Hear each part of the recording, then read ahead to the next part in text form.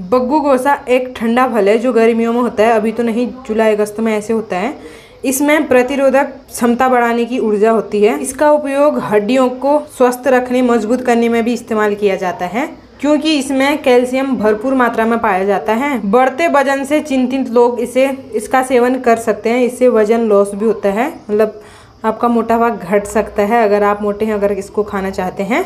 और बग्गू गोसा हृदय रोगियों के लिए भी फ़ायदेमंद है। पाचन क्रिया को भी उत्तम बनाने में सक्षम है। यह फल मधुमेह के रोगियों के लिए भी उत्तम फ़ायदेमंद है। अंतर इतना है। नाशपाती कई दिन तक खराब नहीं होता क्योंकि उसका मोटा छिलका रहता है, जिसे हम छिलते हैं। और बग्गू गोसा का छिलका मुलायम और हल्का होता है तो फ़र्क दोनों में एक ही है। उन दोनों में बराबर के होते हैं।